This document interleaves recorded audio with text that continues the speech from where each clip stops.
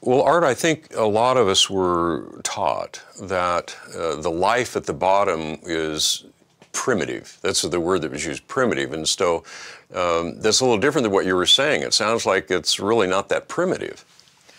When you look at the animals that have survived, like some of the brachiopods and, and others that are still extant today that are also found in the Cambrian, the lowest layer where we have these complex life forms, you can investigate how complex the animals were. And you find out that these animals are fully as complex as any animals today in terms of their cellular biology. It really makes it very difficult to believe in evolution when you, when you find out how, how, how deep the complexity is inside the cell.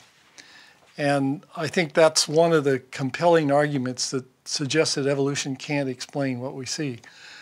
And that complexity is found, and it's easy to demonstrate this logically, that that complexity is found in the first complex organisms we find in the Cambrian. When you go below the Cambrian, you don't have these levels of complexity. In fact, other than some single cells and, and a, a group of fossils of unknown affinities, you don't find anything below the Cambrian boundary. But once you get into the Cambrian, even in the very lowest part of the Cambrian, you find not only representatives of every phylum, every major group of animals, but you also find diversity. You find many species of these different kinds. Trilobites, for example,